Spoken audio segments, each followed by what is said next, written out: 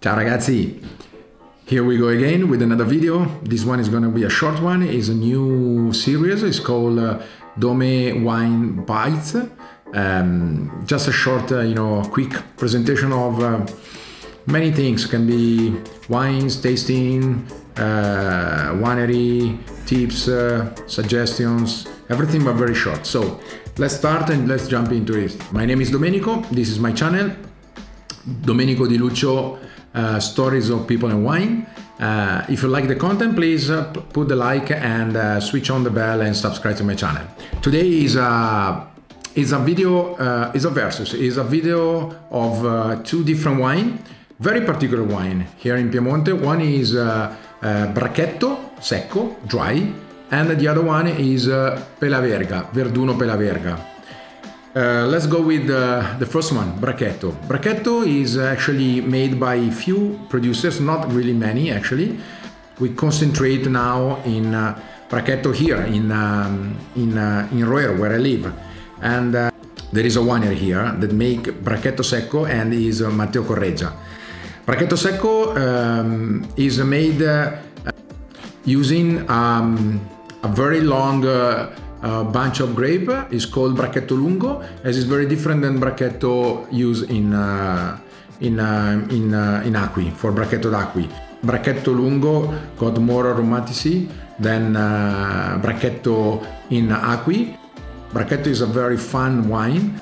It's a wine with a lot of uh, aromas and you drink a lot. So this wine is very well drinkable also in the summer when it's chill out, when it's cold, or uh, for example with a, a, lot of food.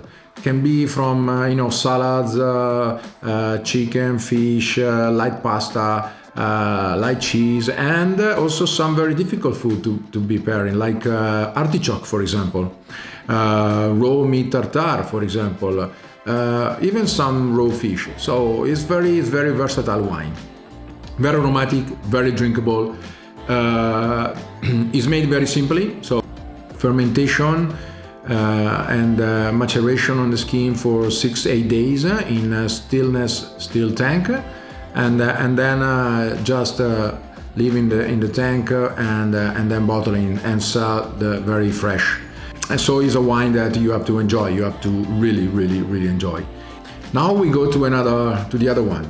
Uh, the other one is uh, Pelaverga. Pelaverga is a typical grape of Verduno. Verduno is in Barolo area, is one of the common, the village, the municipality where you make uh, you make Barolo. You go there and then you have this typical autochthonal varietal that uh, actually used to be in Verduno, La Morra and Roddi. Uh, now the producers are about 16 they produce this wine is only 22 hectares total, so it's very small production. Uh, and uh, Verduno Pelaverga is uh, again an aromatic wine. Today we have a comparison of two uh, aromatic uh, uh, grape that makes two very aromatic and particular wine.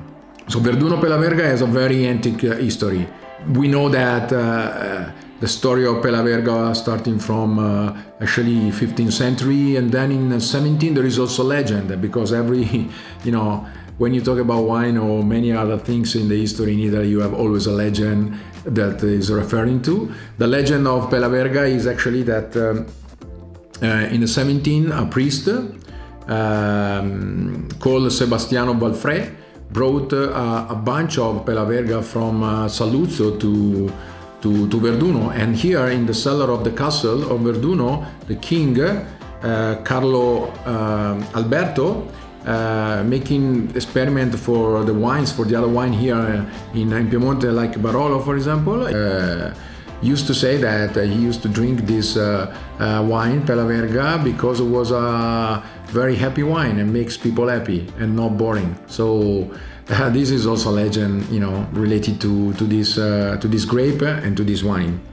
Then uh, also the the municipality of Verduno uh, gave a land uh, to do some experiments for tasting the, the, the, type of soil you need to uh, to make this wine to, to, to find actually some uh, you know uh, specific characteristic of this wine and makes a, a, wine that can be actually replicated so also in terms of uh, uh, clones in terms of type of vines. So they made a study, a long studies, together with the University of Tur Turin and Milan. Also, uh, Asti was involved, and uh, now we have what we we drink uh, as Opella Verga. Uh, so now is considered a very, um, very actually uh, rare wine, and uh, it's quite it's quite well received and. Thank you so much. I hope you enjoy this introduction, this very little pills, and uh, I'm gonna be with other with other very soon. Subscribe to my channel. If you like the content, put a like. This is gonna help a lot to my channel. Uh, switch on the bell for notification and uh, stay tuned and follow and salute, sempre salute. Ciao.